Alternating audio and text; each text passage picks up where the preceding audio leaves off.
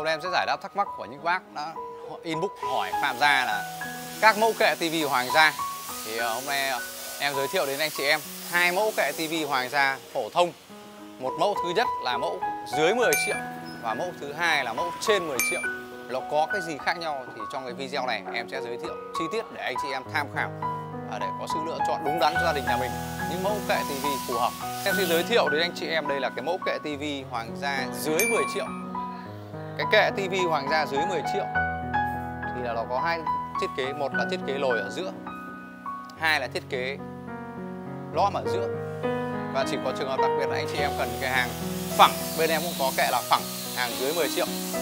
Và mẫu thứ hai là cái kệ tivi hoàng gia trên 10 triệu, là mẫu kệ tivi nguyên khối.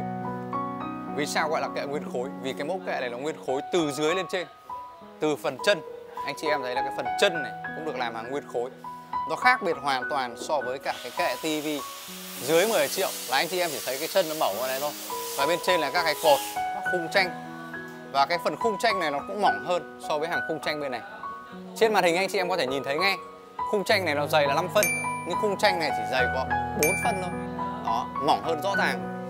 Và cái thứ hai nữa chính là phần mặt tiền, phần cánh. Đối với kệ dưới 10 triệu anh chị em sẽ nhận được lại là khung cánh dày 4 phân. Đây là khung cánh dày 4 phân. Ván cánh ở giữa dày 2 phân. Đấy, Ván lồng khung. 42 Ván 2 Khung 4 Còn hàng nguyên khối trên 10 triệu thì anh chị em nhận được ngay là Cánh dày 5 phân Nguyên khối. Đây là cánh 5 phân Nguyên khối. Để kiểm tra hàng nguyên khối thì anh chị em nhìn các cái vết trên gỗ này có ghép có keo không được biết ngay. Cái này thì uh, em có một cái video giới thiệu chi tiết để kiểm tra nguyên khối rồi. Anh chị em có thể kiểm xem thêm trên kênh video của đồ gỗ phạm gia đó. Tiếp theo là các cái phần ván. Hàng trên 10 triệu anh chị em sẽ sở hữu được ván hậu là dày 1,5 cm đây là ván hậu. Rất dày. Và đây cũng là ván hậu của kệ dưới 10 triệu cũng dày. Những cái này dày 1,2 cm thôi. Ván mặt thì bên em đều là dày một phân. Đó. Và quy cách nó đã khác nhau rất là rõ rệt.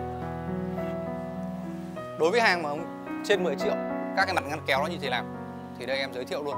Mặt ngăn kéo của hàng trên 10 triệu đây anh chị em ạ. Dày 5 phân. Đấy. Nguyên khối này.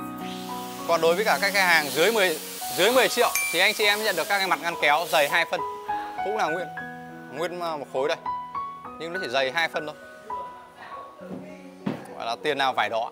Nên là tùy theo cái phân khúc mà anh chị em lựa chọn cho gia đình nhà mình.